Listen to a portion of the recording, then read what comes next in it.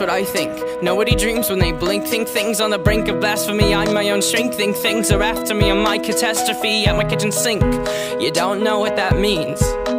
Because a kitchen sink to you is not a kitchen sink to me, okay, friend? Are you searching for purpose? Then write something, yeah, it might be worthless. Then paint something, then it might be wordless. Pointless curses, nonsense verses. You'll see purpose start to surface. No one else is dealing with your demons, meaning maybe defeating them could be the beginning of your meaning, friend.